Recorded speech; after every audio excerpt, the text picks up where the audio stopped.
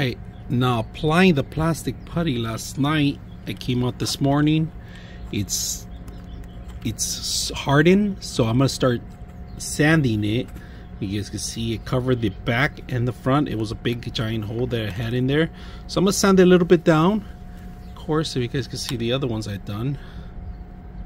Let's sand it down now and then paint it.